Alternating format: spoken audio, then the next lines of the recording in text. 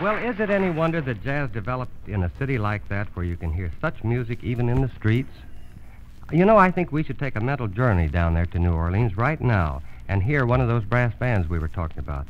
So here we go. Here we are, standing on Broad Canal Street. Look up St. Charles Street. Here comes the band now. They're ready to play. Here they go.